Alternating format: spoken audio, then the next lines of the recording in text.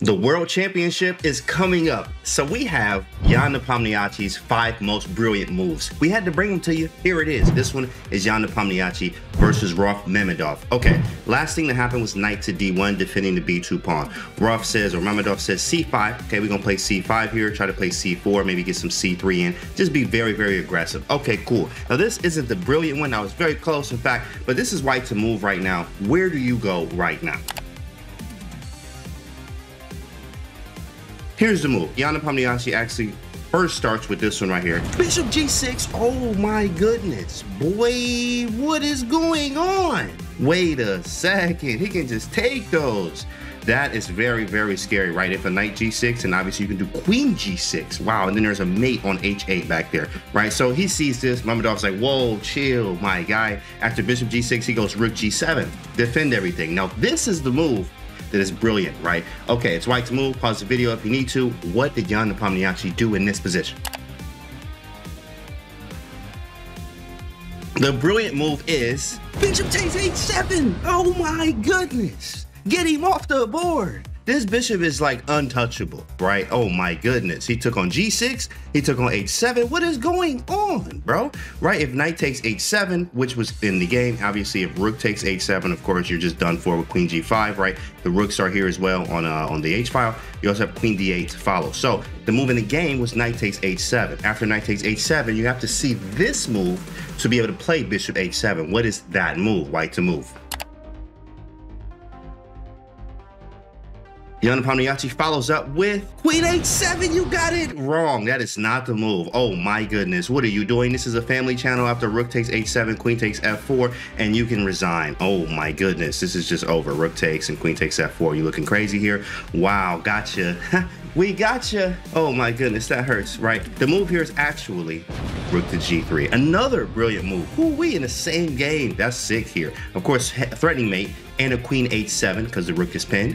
What if he takes it? Which is what happens in the game. Rook takes g3. He's going to show you what happens if you take it. Queen takes h7 check, king to f8 stepping out of the way. And now this move here is kind of difficult to find. It's right to move. You can find it. I'm sure you can. Pause the video. What do you do?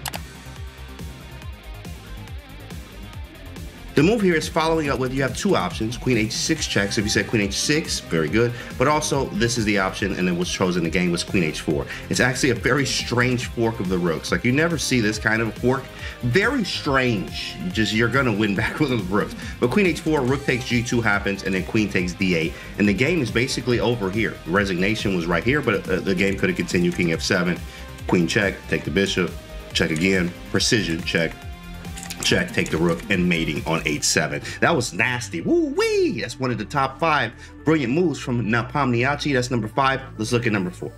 Okay, guys, here we are with number four, and this one is Yana Nepomniachtchi with the white pieces versus Alexei Sarana. Misha Nick um, on chess.com. Okay, so the last one was b5. Of course, uh, Alexei Sarana is definitely a very, very strong Najdorf player. So he plays b5, but unfortunately, question marks here. Well, of course, Jan smells the blood in the water, plays e5, hits the rook over here on a8. Well, okay, this is a common Najdorf theme. Bishop to b7. Okay, we're going to hit the queen, right? We develop with tempo. Queen goes over to g3 to hit the, the pawn on g7. We also also can step out of the way. We can maybe, you know, take here and also do some knight takes b5. In some cases, there are things that maybe you can sacrifice. Here it is. D takes e5 happens. It's your move. White to move. What did Jan Nepomniachtchi play in this position?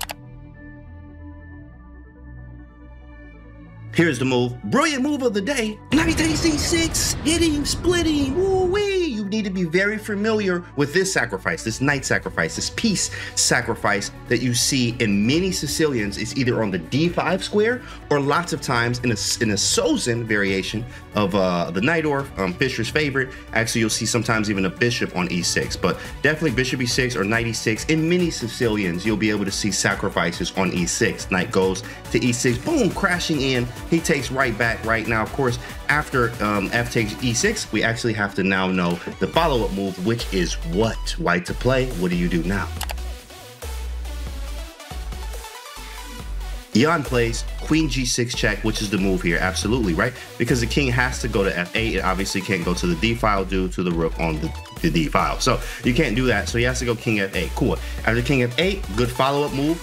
Check the whole board. Look at the whole board the move you find is Bishop e6, correct, right? Great move, hitting queen f7, which is checkmate, okay? You have to defend the mate by bishop d8 or bishop something. So bishop moves, bishop moves to b4. Okay, second brilliant move, right now, find it. White to move, what is it?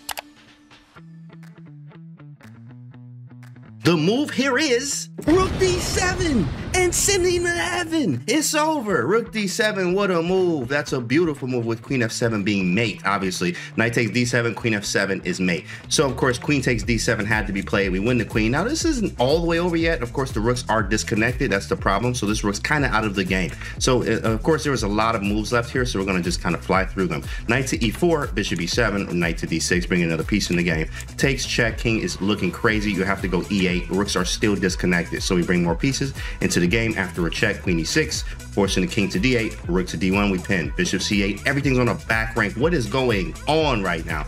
Queen takes e5, rook to f8, and he was able to clean up shop and grab some pawns here, and this is just clinical clinical from Jan here as he was able to take down Alexei Sarana. A couple more moves here, rook d4, king c5, and b4 with a checkmate. Boom! But knight e6 and rook d7 started all of that combination. This is number four of his brilliant moves. Let's do number three. Here we are with number three. We have Yana Nepomniachtchi versus Dan the Man Naroditsky. Danya, sorry, Danya. Okay, so what happened in this game? The last move was rook to e7 here. Daniel Naroditsky plays rook to e7.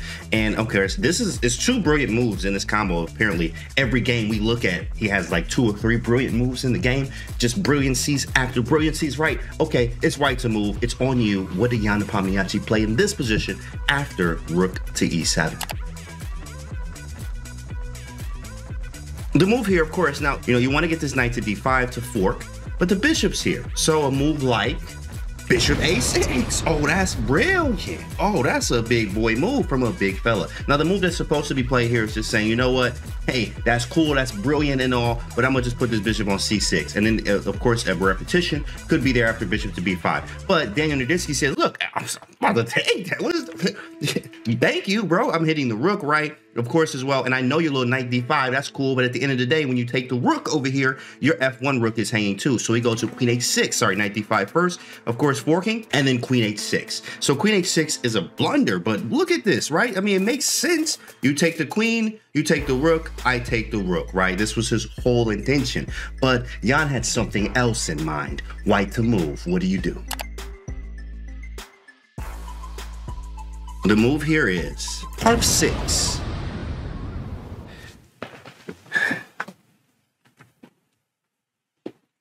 He played F6? You gotta be kidding me. Look at this move, bro. F6 is gross. What happens if he takes the queen? Your queen's hanging. Well, of course, F takes G7 is check, king to G8, and knight F6 is checkmate. What a queen sacrifice. That's gross. Let's get that off the screen. We got kids watching this. Okay, after F6, okay, if you take with the pawn, you obviously lose the queen here. This is a sick move. So, and F takes G7 is also coming, and the pawn can take on E7. Of course, Naroditsky found G5. He's like, oh man, I didn't even see none of that. That was just absolutely sick, right? Takes on E7, takes on F1. Cool, we still have some type of advantage here, or at least we have a piece. But of course, uh, White's just going to clean up and get that right back after knight takes C7. We're threatening the queen now. Rook C8, we do queen takes, takes. Queen goes to H4 and queen D6. And this game's over here. It was a resignation after this. But Bishop A6 started it of course, and after captures, kind of set a little trap there. F6 to seal the deal. That was a nasty move. That was number three. Let's move to number two. Okay, guys, here we are with number two, and this one is Yana Nepomniachtchi versus uh, Vladimir Fedoseev. Big fish on chess.com. So um, here it is. The last move was H5. Engine's like question mark. Now, of course, it's the engine, right? And in practical chances against a human, H5 is a very annoying move. Like, well, H6 is coming. But Fedoseev first says, you know what? Queen e6, move your knight first, bro. Okay, we're gonna attack the knight. We're gonna probably keep h6 under control. Maybe play h6 ourselves, right? At the especially after you move the knight, defending it, because I'm taking your knight if you don't move it, right? So it's white to move. What does uh, Jan Nepomniachtchi play in this position? Can you find the move? Here it is, guys. Well, of course, the saying goes, right? When your knight is hanging, when you have a piece hanging, sack it. Don't try that at home. But h6 is the move here. He just says, forget about that knight. Knight, knight, have a good night. And if you take this knight, well, night, night. Queen takes c4 for the score. That is GG. Right now, of course, beautiful move here is obviously that's why we played h6 to play h takes g7. h takes g7. Cool. Oh, I see that. That's cute. You're going to, oh, king takes, you're going to hit me with queen h6. Okay, you're going to, uh, that's funny. Let me move my rook out the way. Well, white to move. Now, what do you do? The move is queen h6. You are so, you're wrong. Wrong. Queen takes e4. ha, uh, ha. And I defend h7 and you're done. Oh, man. Oh, man. That one hurts. Okay, well, since if it's not queen h6, it must be rook h7. Real awkward stare. Real awkward stare. After rook h7, oh, wait. All right, all right, what happens if he takes it? Let's look at it. Rook h1 check. Boom, right? If king to g8, we have rook h8 check, forcing king takes g7 with queen h6 being mate. Ooh, that's gross. All right, how about this one? King g6, queen h6, or g5 mate. Don't matter, right? There's mate. A uh, king g7? Is there any way out of this? Mate there too. Everything mate. Everything is made. So he said, oh, he he's not playing, says Fedoseev. This man is not playing. So he played knight to g6, hoping that he can cover the h8 square. And after this move, the game was over. White to move, what do you do? The move here, the finale, queen h6, ends it all. Resignation on the spot. There's no way you can stop rook h8. Okay, the engine way queen takes c2, sack all your pieces, right? But this is checkmate and game over. That was nasty. That was number two. Let's move to number one. Here we are with our final brilliancy from Jan Nepomniachtchi, number one here, and he's playing with the black pieces against Jake Kleinman, International Master. All right, last move was knight to e3 from Jake, and then knight to g4 here from Jan. Knight takes g4, queen g2 will be made. Nice deflection. So Jake blocks it. Knight to d5. Boom, right? Queen can't move, or at least she can't cross this line anymore, especially with this knight here. Well, put that in mind and try to find the move that Jan played in this position, black to move. Here's the move. Well, it's blocked. Everything's all blocked. So how do we unblock it? A rook d8, maybe? Maybe a knight f4? That's crazy. What is that? Knight e3? I mean, how, how do you get this knight off of the d5 square? You put something in front of it. Bishop d4. Woo, that's a big move. Hitting f2. Breaking the connection of the rook and the knight. Queen g2 is going to be mate now.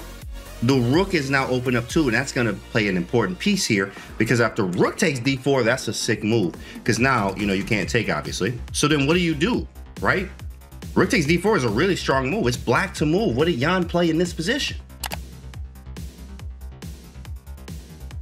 The move here is not taking back the rook, because a lot of you may do that, because there's a check. You don't want to give him anything, but can we check him? If you said h2, you are correct. Very nice. Now, if king to g2, that's obvious. Rook takes f2 check, right? It's going to be a problem. And then after maybe king to h1, you go rook f1 there. He's going to be in some trouble. So, and then we're going to queen, right? So he goes king h1. And he's like, yo, if knight takes f2, king takes h2, right? So you take the pawn, I take the pawn. Okay, well, final move here, black to move. What do you do? The move that he played here. Knight takes G3! It's on the board! Get him off the board! Knight takes G3, boy! That's sick. Let's look at that again. H2, King H1, Knight G3. Beautiful. You want Rook F1 check, obviously. And we want a queen. So after he takes, you go Rook F1 check. King G2, and H1 Queen, and checkmate. One more time, that combo was very sick. This is a very nice one. That's why we saved it the best for last, right? So, 95, Bishop D4, breaking the connection. Rook takes, H2 check. I mean, look at all the pieces. Like this was a sick combo. All these, all these pieces for the combination. Knight takes G3, the rook, and then the pawn. Like, he used everything. That was brilliant, right? Hopefully you enjoyed this video, guys. And if you enjoyed this one, then make sure you check the videos right after this. And we'll see you on the next one.